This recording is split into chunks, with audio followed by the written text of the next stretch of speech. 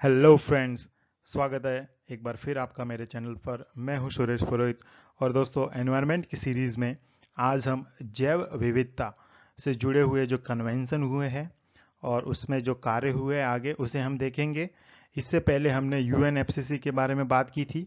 अगर आपने उस वीडियो को ना देखा हो तो प्लीज़ देखिए, क्योंकि यूपीएससी स्टेट पीसीएस एसीएफ के और एनवायरनमेंट साइंस से जो जो सब्जेक्ट हैं उसमें एनवायरनमेंट एंड इकोलॉजी का बहुत बड़ा रोल है और काफ़ी सारे सवाल पूछे जाते हैं।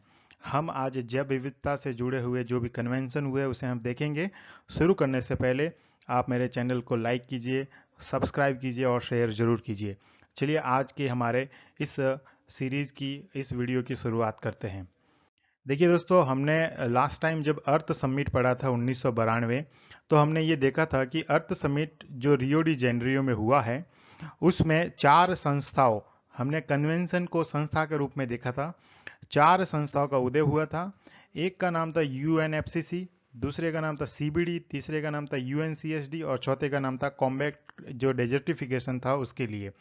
अब देखते हैं यूएनएफसीसी क्या करती है। यूएनएफसीसी जो है, वो मुख्य रूप से क्लाइमेट चेंज को लेकर कार्य करती है, जलवायु परिवर्तन को लेकर कार्य करती है। भले ही वो ग्रीन हाउस गैसेस हो या CO2 का उत्सर्जन हो जाता उसमें हमने क्योटो प्रोटोकॉल और क्योटो प्रोटोकॉल के पश्चात 2015 में जो पेरिस एग्रीमेंट हुआ है, उसकी बात हमने हमारे पीछे वाले वीडियो में हमने की थी। आज हम अर्थ समिट के तहत जो दूसरी संस्था का उदय हुआ था या जो कन्वेंशन हुआ था, जिसका नाम था कन्वेंशन ऑन बायोडाइवर्सिटी सीबीडी जिसमें आज हम सीबीडी के बारे में तो पढ़ेंगे ही। इसके साथ साथ हम नगोया प्रोटोकॉल को पढ़ेंगे, काटाजना प्रोटोकॉल को पढ़ेंगे और आईची टारगेट्स को पढ़ेंगे, क्योंकि इनको पढ़ना बहुत ज़रूरी है। आपके एग्ज़ाम में सीधे सीधे सवाल आ सकते हैं। इसके बाद हम आगे यूएनसीएसडी और कॉम्बैक्ट डिजिटिफिकेशन है, उसकी, उसका एक अलग अलग वीडियो बनेगा।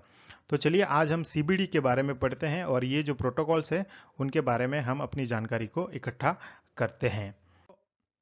सीबीडी जो कन्वेंशन ऑन बायोडाइवर्सिटी जी है, ठीक है जिसे हिंदी में कहते हैं जैव विविधता अभिसमय, इसे अर्थ समिट में ही लाया गया था। और अर्थ समिट हमें पता है कि उन्नीस में आया था, लेकिन जो सीबीडी है, ये जैव विविधता को लेकर जो सबसे बड़ा समझौता हुआ था, वो लागू जो हुआ था, वो हुआ था 29 दिसंबर उन्नीस सौ तिरानवे। 19 दिसंबर 1993 को ये सीबीडी जो है ये लागू हुई थी। और इस सीबीडी के तीन मुख्य ऑब्जेक्टिव यानी उद्देश्य थे। उद्देश्य क्या थे? इससे सवाल आ सकता है उद्देश्य क्या थे? पहला उद्देश्य था कि हमें जो हमारा बायो बायोलॉजिकल जो डाइवर्सिटी है यानी कि जैव विविधता जो है उसका हमें क्या करना है? संरक्षण करना है। उसे उसका हमें क्या करना है? संरक्षण करना है।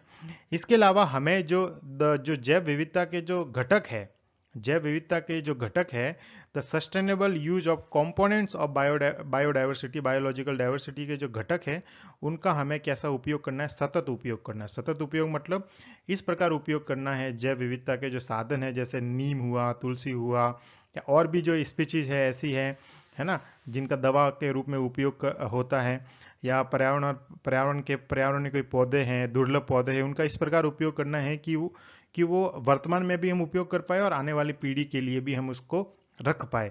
तो ऐसे जैव विविधता के घटकों का सतत उपयोग करना है।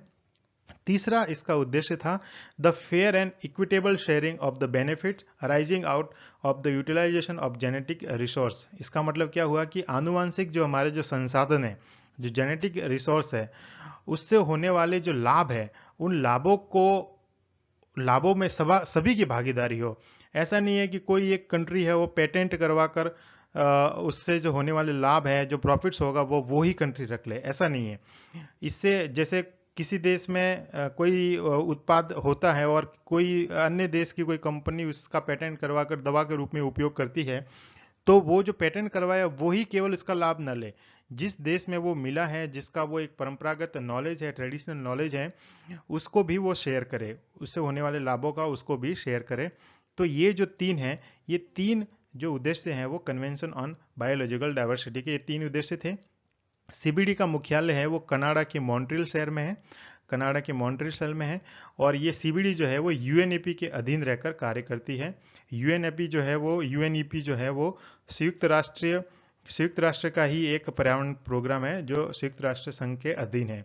इसके अधीन रहकर सीबीडी कार्य करती है। यूएनएफसीसी की तरह सीबीडी के भी मीटिंग जो होती हैं, जो बैठक होती है, इन्हें सीओपी कॉन्फ्रेंस ऑफ़ पार्टी कहा जाता है। यह समझौता उन्नीस में लागू हुआ था और उन्नीस सौ चौरानवे में कोप फ़र्स्ट पहली जो बैठक हुई थी, वह बहामास में हुई थी। पहली जो बैठक हुई थी, वह बहामास में हुई थी। इसके अलावा उसके पश्चात 1999 में जो कोप हुई वहाँ, वो जो हुई थी, वो कार्टाजना में हुई थी। कार्टाजना ये भी कनाडा में है कार्टाजना वहाँ बैठक हुई थी और यहाँ पर जो बैठक हुई थी, यहीं से कार्टाजना प्रोटोकॉल का उदय हुआ था। ठीक है, यहीं से कार्टाजना प्रोटोकॉल का उदय हुआ है, इसे हमें डीप में पढ़ना है। फिर 2010 में कोप 10 की बैठक हुई, जहाँ पर नगोया प्रोटोकॉल हुआ, नगोया जापान में है और नगोया प्रोटोकॉल को हमें आगे डीप में पढ़ना है। भारत में भी ये सीओडी सी सीबीडी की बैठक हुई थी और वो बैठक हुई थी 2012 में और कोप ग्यारहवीं थी, ठीक है? कोप ग्यारहवीं थी, जिस बैठक का नाम था ग्यारहवीं बैठक थी 2012 में और हमारे हैदराबाद में हुई थी, हमारे हैदराबाद में हुई थी और अगली जो अभी लेटेस्ट बैठक हुई है वो 2018 में हुई थी, जो चौदहवीं बैठक थी और ये इजिप्ट के शर्म अल शेख शहर में हुई थी, ठीक है? शर्म अल शेख शहर में हुई थी। 2000 से पहले हर जो सीओपी होती थी वो प्रति वर्ष उसकी बैठक आयोजित की जाती थी लेकिन 2000 के पश्चात हर दो साल में आयोजित की जाती है जैसे 2010, 2012 इसी तरह आगे। अभी जो अगली बैठक होगी वो 2020 में आयोजित की जाएगी। हालाँकि उसके लिए अभी कोई स्थान तय नहीं किया गया है। तो सवाल ऐसा भी बन सकता है कि सीओपी की पहली बैठक कहाँ हुई है तो हमें ध्यान में रखना है ठीक है? कार्टाजोना प्रोटोकॉल कब हुआ है, नगोया प्रोटोकॉल कब हुआ है, भारत में कौन सी बैठक हुई थी तो ग्यारहवीं बैठक हुई थी और 2012 में हुई थी। लेटेस्ट हुई है 2018 में, चौदहवीं बैठक हुई है जो इजिप्ट के सरमल शेख शहर में। यूएनएफसीसी की भी अलग बैठक होती है और सीबीडी की भी अलग बैठक होती है। अब दोस्तों, आगे अगर इन सीबीडी की जो इतनी सारी बैठक हुई है, इन बैठक से यदि कोई उपयोगी कोई बात निकली है, कोई प्रोटोकॉल हुआ है तो वो प्रोटोकॉल दो ही हुए हैं। एक प्रोटोकॉल हुआ है काटा काटाजोना और एक प्रोटोकॉल हुआ है नगोया। ये दोनों प्रोटोकॉल जैव विविधता से संबंधित है। जलवायु परिवर्तन से संबंधित नहीं है, सतत विकास से संबंधित नहीं है, मरुस्थल को रोकने से संबंधित नहीं है। काटा काटाजोना और नगोया प्रोटोकॉल है, वो जैव विविधता से संबंधित है। चलिए हम एक एक कर उनको देखते हैं। देखिए काटाजोना प्रोटोकॉल जो है काटाजोना प्रोटोकॉल है, वो सीबीडी के अधीन ही हुआ है। अब ये काटाजोना प्रोटोकॉल हुआ कब है, कहाँ हुआ है, इसमें क्या क्या प्रावधान थे? देखिए काटाजोना प्रोटोकॉल जो हुआ है, वो 15 मई 2000 को हुआ है, ठीक है? 15 मई 2000 को। हालाँकि यह जो बैठक है, वो काटाजोना जो है, वो अमेरिका के कोलंबिया में काटाजोना की बैठक होने वाली थी, लेकिन इसको रिशेड्यूल कर उसको फिर कहाँ लेके गए 2000 में? मॉन्ट्रियल कनाडा में, ठीक है? मॉन्ट्रियल कनाडा में री री शेड्यूल कर वहाँ बैठक आयोजित की गई। हालाँकि बैठक तो मॉन्ट्रियल में आयोजित की गई, लेकिन नाम कार्टाजोना में ही तय किया गया था। तो मूल रूप से वो कार्टाजोना में ही होनी थी तो उसे कार्टाजोना प्रोटोकॉल के नाम से ही जाना गया। इस बैठक में क्या था? इस बैठक का मुख्य रूप से उद्देश्य था, वो था बायोसेफ्टी की, यानी कि जैव सुरक्षा। जैव विविधता में जैव सुरक्षा का जो है ये ये मुख्य रूप से मुद्दा था। ये क्या होता है? देखिए, पहले तो ये देखना है कि कार्टोजोना प्रोटोकॉल 2000 में हुआ है और 2003 से यह प्रभावी हुआ था। 2003 से यह लागू है। इसमें क्या होता है कि जिन भी देशों ने कार्टोजोना प्रोटोकॉल पर साइन किया है और यदि वो देश किसी लिविंग उत्पाद का, है ना, लिविंग उत्पाद का जो अगर उसमें संशोधन कर, यदि बायोटेक्नोलॉजी का उपयोग कर, यदि इससे कोई नया उत्पाद बनाते हैं यदि उससे कोई नया उत्पाद बनाते हैं तो उसके क्या प्रभाव होंगे? क्या उससे मानव स्वास्थ्य को कोई नुकसान होगा? ह्यूमन हेल्थ को कोई नुकसान होगा? उसे रोकने के लिए, है ना? इस प्रभावों को कम करने के लिए यह समझौता किया गया। इसे कहते हैं जैव विविधता का जैव सुरक्षा समझौता। जैसे एग्ज़ाम्पल के रूप में, यदि हमने यदि हमने बीटी कॉटन बनाई, है ना?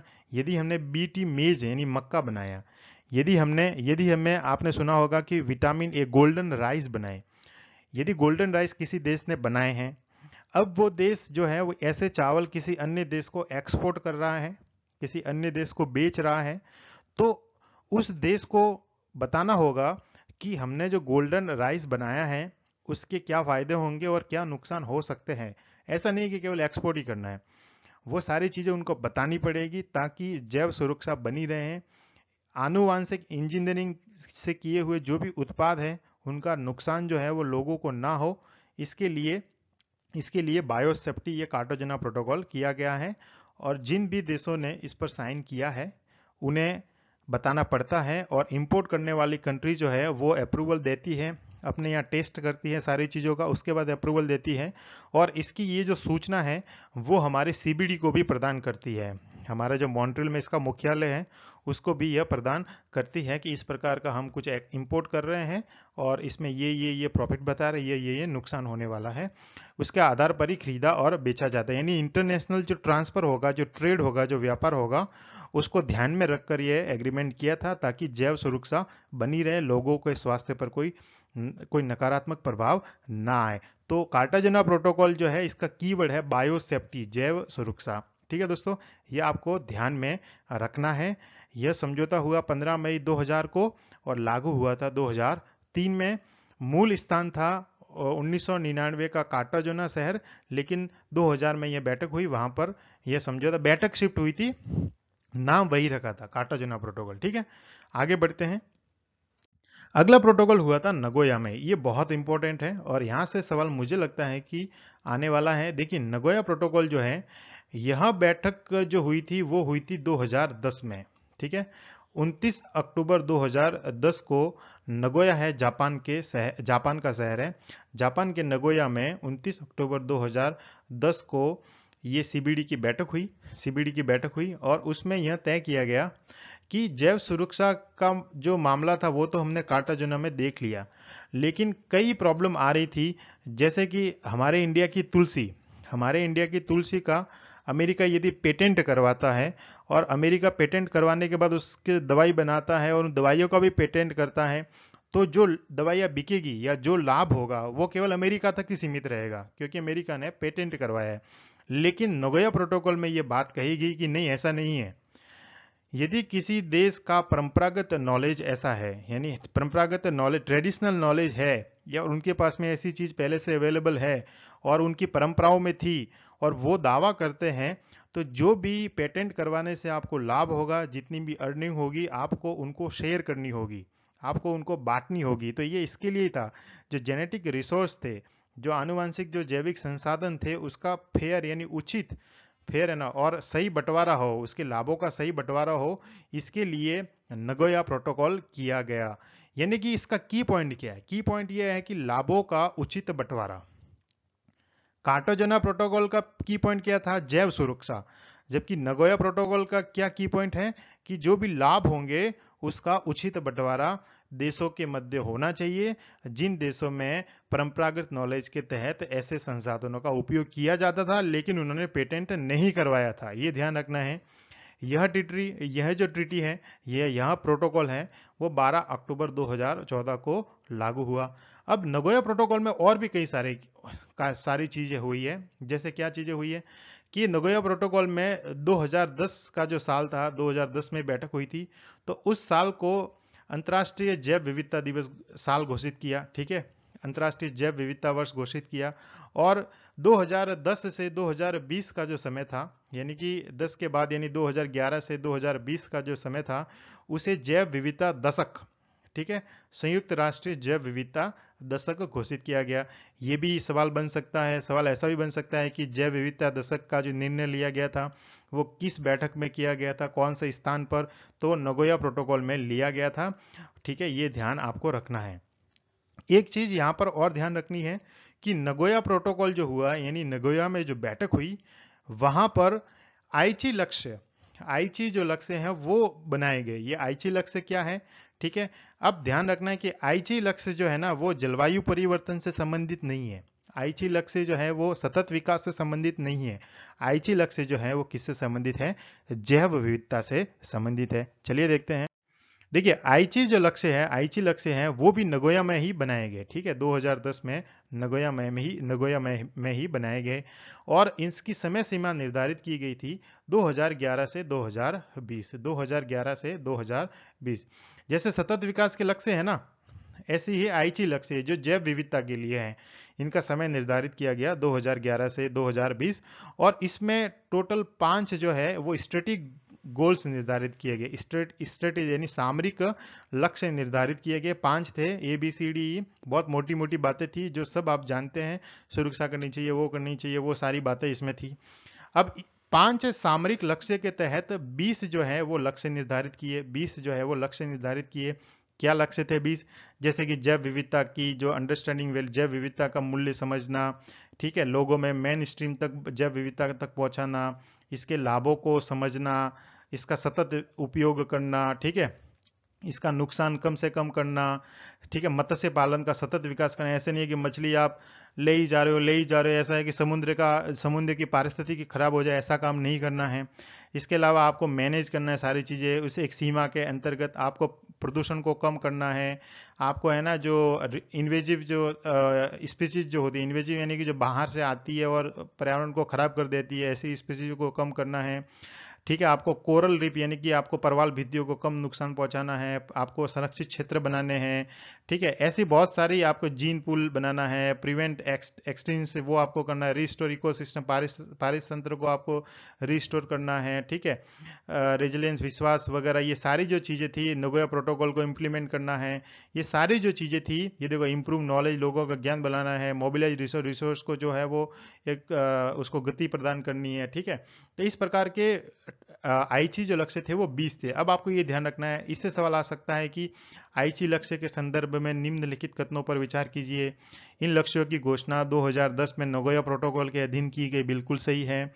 इसमें पाँच सामरिक लक्ष्य है, जिसके अंतर्गत 20 और अन्य लक्ष्य निर्धारित किए गए, बिल्कुल सही है। इनका जो समय है वो 2011 से 2020 निर्धारित किया है तो ये भी बिल्कुल सही है। इनसे सवाल आएगा आईची लक्ष्य से। भारत ने भी सीबीडी में जब हुआ था नगोया, ठीक है, तभी भारत ने उस पर साइन किया, भारत ने काटा जोना पे भी साइन किया, भारत ने नगोया पे भी साइन किए हैं और भारत ने सीबीडी पे भी साइन किए हैं। हम भारत की जैव विविधता के बारे में अलग और से पढ़ेंगे, जैव विविधता के बेसिक को भी पढ़ेंगे कि जैव विविधता होती क्या है, कितने प्रकार की होती है, जैव विविधता के हॉट हॉटस्पॉट वगैरह सारी चीज़ें हम इसमें पढ़ेंगे। पढ़ने से पहले या आगे बढ़ने से पहले या अदर वीडियोस देखने के लिए आप मेरे चैनल को लाइक कीजिए सब्सक्राइब कीजिए और शेयर ज़रूर कीजिए। आप दोस्तों, मैं कोशिश करूँगा कि आपका जो नॉलेज हो एनवायरनमेंट का वो एनहेंस हो सके। ठीक है, ये मेरी कोशिश रहेगी। आपका धन्यवाद।